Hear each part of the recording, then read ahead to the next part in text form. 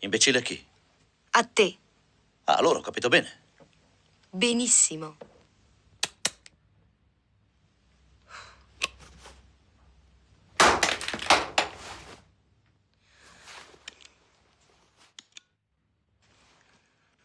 Ah, vuoi l'invito?